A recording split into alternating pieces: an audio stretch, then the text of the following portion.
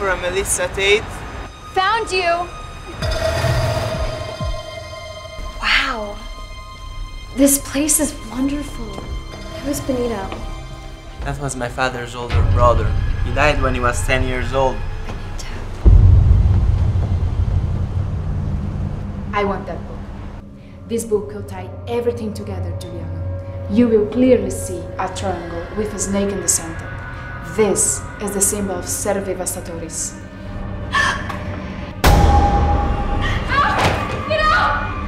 Luca, I really need your help. You're the only one that knows what the symbol and the words mean.